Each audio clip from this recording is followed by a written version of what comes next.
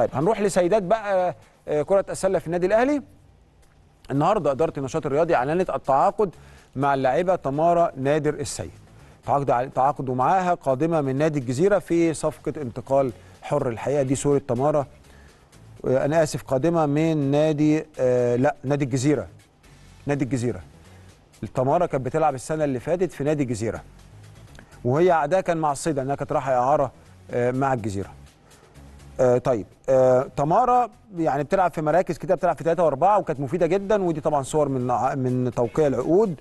وأضاف طبعا وضح كابتن خالد العوضي إن النادي تم التعاقد مع تمارا لمدة أربع سنين جاية في إطار خطة تدعيم صفوف كافة فرق النادي بالعناصر المميزة من أجل المنافسة على الفوز بكل البطولات. دي صورة كابتن خالد العوضي طبعا آه، مع أو تمارا مع كابتن خالد العوضي.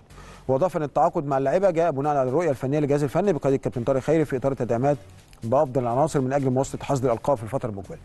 الموسم اللي جاي للسيدات موسم مش سهل زي يعني هنقول أصعب من الموسم اللي فات، الموسم اللي فات ما كانش سهل برضه. ولكن سبورتنج الحقيقة آه، ضم ثلاث لعيبة جداد منهم اثنين كانوا عندنا هلا شعراوي ونور علي طلعت والاثنين بيلعبوا تحت الحلقة. عندنا السنة الجاية منافسة قوية من سبورتنج. آه، طب الاثنين اتنقلوا ليه؟ لأن النادي الأهلي ما سجلهمش فبقى حقهم ينتقلوا لأي نادي تاني فالاثنين دول الحقيقة كمان ما لعبوش مع النادي الأهلي السنة اللي فاتت ولكن السنة الجاية هيلعبوا مع سبورتنج يعني آه ما لعبوش معاك ولكن هيلعبوا السنة الجاية مع النادي المنافس. فالنهاردة انت عندك هيبقى تحت الحلقة مشكلة.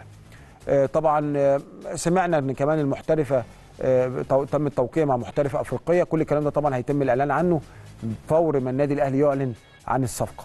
ال- يعني في تدعيمات شغالة ولكن موسم السيدات السنة الجاية مش هيكون سهل بالمرة لأنه في تدعيمات من ناحية سبورتنج آه، في السيدات بشكل كبير مع محترفة كويسة هيبقى الأمور لأن أنا سمعت كمان نادي سبورتنج تعاقد مع المحترفه الأمريكية اللي كانت بتاعت نادي الجزيرة. المحترفة دي بتلعب في position 2 شويطة جدا جدا سريعة ball control فكده بقى بره الحلقة جامدين وتحت الحلقة جامدين. ده طبعا بالإضافة للعيبة اللي موجودين أصلا هاجر وغيره وغيره اللي موجودين في نادي سبورتنج. already نادي سبورتنج كان واخد بطولة أفريقيا السنة اللي فاتت. ففريق مش سهل. فالسنة الجاية اتصور هيبقى المنافسة قوية مع آه، النادي الأهلي في سلة السيدات.